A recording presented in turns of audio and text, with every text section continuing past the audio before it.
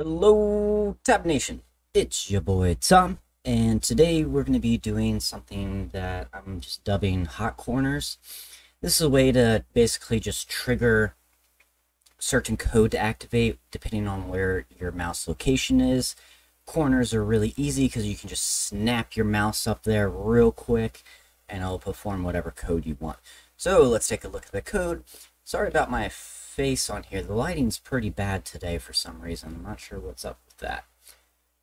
But hey, we're not here to look at my ugly mug. We're here to look at code. So here we go. Let's start.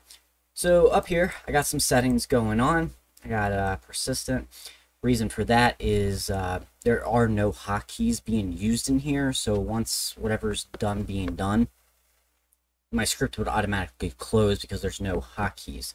So we're putting this in here to make sure the script keeps running because there's no hotkeys. Coordinate mode, mouse. This basically just affects uh, basically down here like the mouse get position. So you just want to put that in there. It makes it a little smoother. I got a timer. A timer basically means uh, inner in corner. So it just means every 250 milliseconds run whatever's in here. You can adjust this to whatever you want, uh, you know, play around with it. Everybody's computer and need is going to be different. 250 milliseconds works for me, uh, but it might not for you. Maybe you want it faster or whatever, slow it down.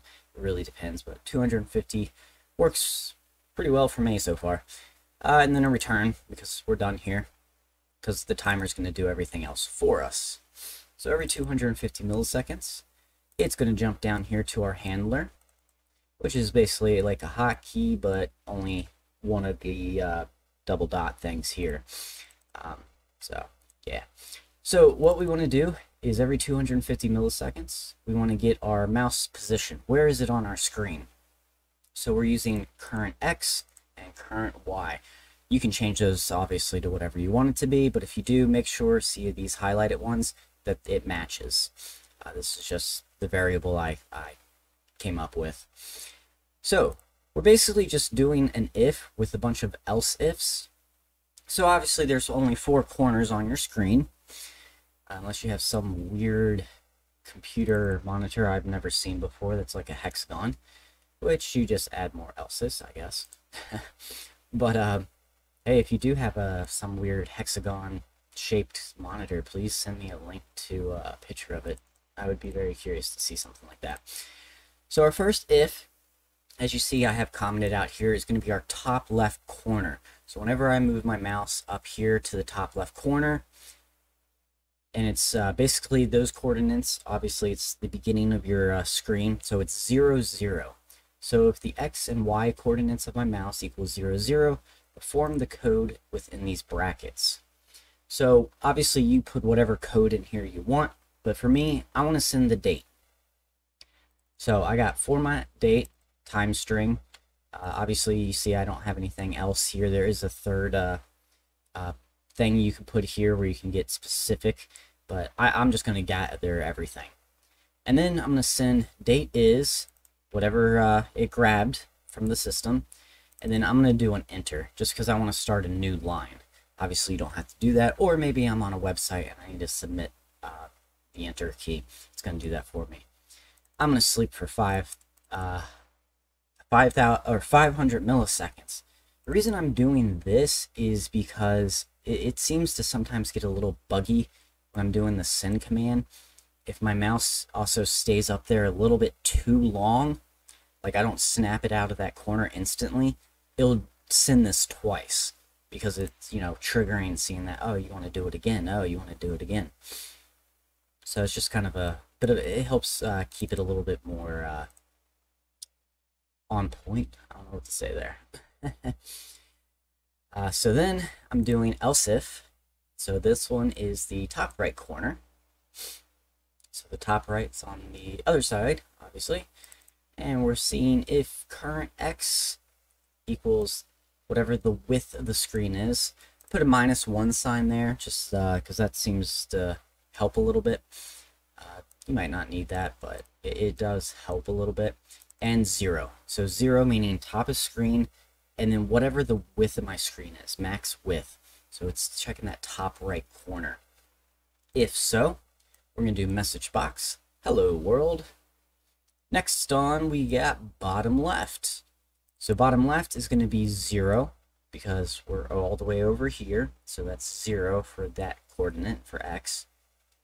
Uh, and then the current is screen height. Height. So whatever the height is, once again, I'm putting that minus 1 in there just to help out a little bit. Makes it seem to be a little bit more efficient. So whatever the max height of my screen is. Uh, and here we're just going to run CALC, which is our systems calculator. You do not need, when you're running stuff like this that's built into the OS, you do not need to uh, put a uh, file path to the executable for a calculator. You can actually just put CALC, which is really cool. It's very helpful because honestly, I don't know where this is stored in my computer. I'm sure I could find it within a minute, but makes it simple. Last we got it bottom right. So this is the long one. That's because we're doing both the screen width and the screen height. Height. Keep saying that wrong. And uh, once again, minus one, minus one. That should be good enough. And here we're going to do a message box, sub to Tab Nation to learn, which you should do. And hit the thumbs like button because that helps me a lot. And yeah, that's basically it. And then we just put a return down here in case we have more code down here. Technically in the script, we don't need the return because that's the end of the script. But it's always good to put that there in case you add something later. Yeah. Uh, let's see this in action, shall we? Let's launch that. Make sure, yep, it's running. So there's no hotkeys. It's already doing what it's supposed to be doing. It's already watching. So my mouse, uh, as you can see, is right. Wait, can you not see my mouse? You can barely see my mouse. That's because it's black on a screen. Ah, there's my mouse. uh, so yeah, I'm gonna go ahead. Let's uh, open Notepad. Yeah, there we go. So open Notepad. We're gonna do that first one. So I'm already highlighted in there. I'm gonna go up to the top left, and there we go. Done. You see press the enter, so it's on a new line. Let's do it again. Voila. So it did that first one perfectly fine. All right. And the next one is Hello World. That's top right. Let's go ahead and do that one. Boom, Hello World. And as you see, it's really fast. I mean, it's pretty much instant as, as soon as I put my mouse up there. That's why I have that 250. If you make it a little smaller than here, it might trigger that function twice uh, if you don't move your mouse away fast. So that's just something. If you're not as fast as me, you might want to update that to 500 milliseconds or something. All right, bottom left, calculator. Let's go down there. There we go. Calculator ran. And last but not least, bottom right. There's our message box. Sub Tab Nation to learn. So yeah, that's pretty much it. It's just, it's a real cool way to add something that's outside of hotkeys. Uh, hotkeys, you know, sometimes you got to look at your keyboard. You got to memorize maybe a little bit of, you know, F1 does this. I mean, you still have to memorize what each corner does here.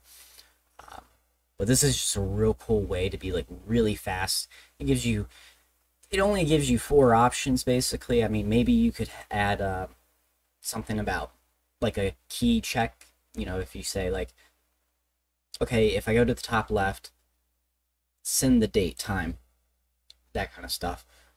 Or you could also expand on that and make it even to eight corners, where you say like, if Alt is being held down, and I go to the left, do this instead of send date. So you could do that functionality. I have videos on how to add, you know, uh, key checks and stuff, you know, if it's pressed. Uh, so that could add some more functionality to it. Uh, but simply, this just gives you four options.